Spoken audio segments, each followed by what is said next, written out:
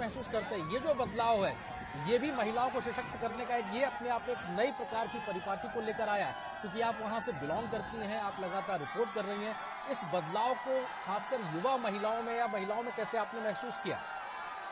देखिए अरिंद्र अगर जिस तरीके से हम बात कर रहे हैं कि अभी जो लोग वहाँ पर मौजूद हैं, सबसे पहले अगर हम देखिए ये इनमें से अगर मैं आपसे कहूँ तो सत्तर प्रतिशत ऐसे लोग होंगे जिन्होंने प्रधानमंत्री को कई बार पहले देखा है, रूबरू देखा है, मंच पर देखा है, रोड शोज़ में देखा है या ऐसे देखा है, फिर भी ये दीवानगी जो है, वो, उसका जो स्तर है, उसका जो लेवल है, वो जो क्रेज है वो कम नहीं होता है। जहाँ बात आती है महिलाओं की सुरक्षा की एक समय था अहमदाबाद में खासकर कई ऐसे इलाके और अगर हम देखते थे कि नदी के अगर उस पार जाना हो तो कई बार लोगों को फ़ोन करके पूछना पड़ता था कि क्या आज सेफ़ है आना क्या सुरक्षित है।